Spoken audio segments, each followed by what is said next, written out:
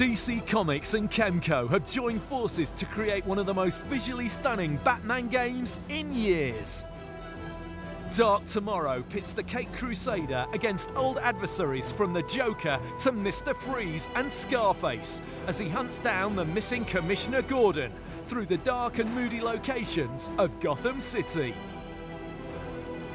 Batman also has a trusty range of gadgets, such as the Batarang and smoke grenades, to apprehend criminals.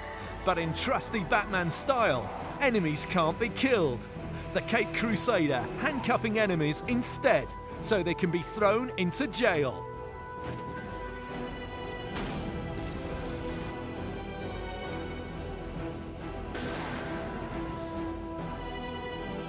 Batman Dark Tomorrow.